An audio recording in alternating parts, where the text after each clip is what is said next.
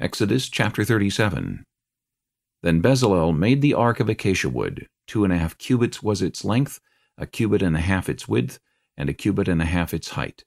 He overlaid it with pure gold, inside and outside, and made a molding of gold all around it. And he cast for it four rings of gold to be set in its four corners, two rings on one side, and two rings on the other side of it. He made poles of acacia wood, and overlaid them with gold.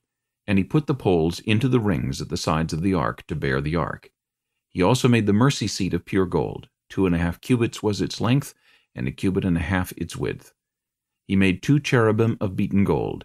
He made them of one piece at the two ends of the mercy seat, one cherub at one end on this side, and the other cherub at the other end on that side.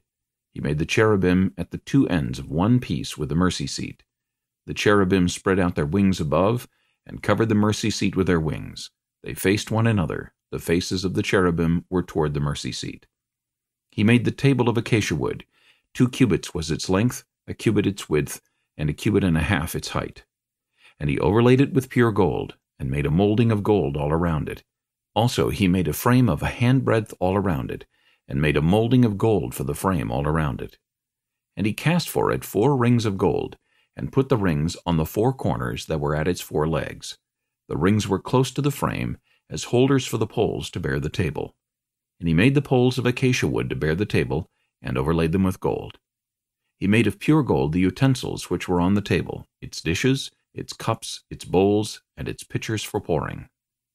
He also made the lampstand of pure gold. Of hammered work he made the lampstand. Its shaft, its branches, its bowls, its ornamental knobs, and its flowers were of the same piece. And the six branches came out of its sides, three branches of the lampstand out of one side, and three branches of the lampstand out of the other side. There were three bowls made like almond blossoms on one branch, with an ornamental knob and a flower, and three bowls made like almond blossoms on the other branch, with an ornamental knob and a flower, and so for the six branches coming out of the lampstand. And on the lampstand itself were four bowls made like almond blossoms, each with its ornamental knob and flower. There was a knob under the first two branches of the same, a knob under the second two branches of the same, and a knob under the third two branches of the same, according to the six branches extending from it. Their knobs and their branches were of one piece. All of it was one hammered piece of pure gold. And he made its seven lamps, its wick trimmers, and its trays of pure gold.